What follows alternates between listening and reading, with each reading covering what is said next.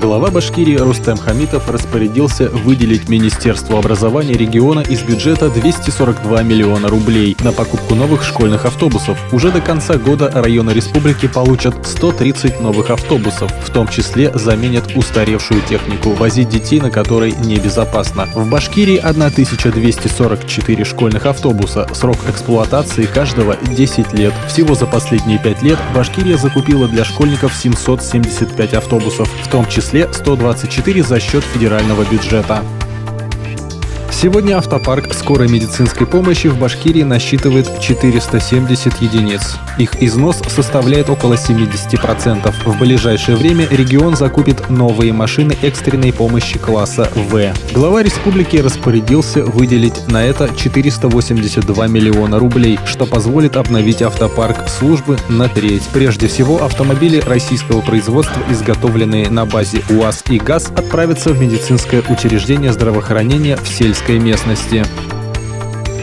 Как сообщает информационное интернет-издание Башинформ, несколько районов Башкирии остаются в зоне риска по показателям заболеваемости мышиной лихорадкой. По последним данным регионального Роспотребнадзора, неблагополучная ситуация по геморрагической лихорадке с почечным синдромом сохраняется в Краснокамском, Нуримановском, Бирском, Ишембайском, Янаульском районах, а также в городе Октябрьский. В этих районах зарегистрировано превышение среднереспубликанского показателя заболеваемости.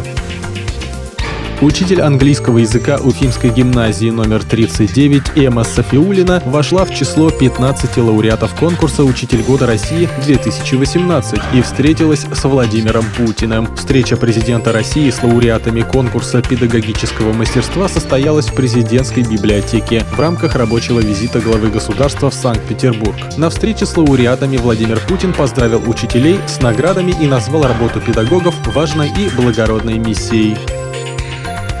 7 октября 2018 года вступили в силу новые правила регистрации автомобилей. В частности, в ГИБДД можно приехать с электронным паспортом транспортного средства. Электронный паспорт авто станет обязательным с 1 ноября 2019 года. Также новые правила позволяют регистрировать машину по временному удостоверению личности, которое предоставляется при утере паспорта. Снятые старые номера отныне можно хранить в госавтоинспекции не 180 дней, а целый год.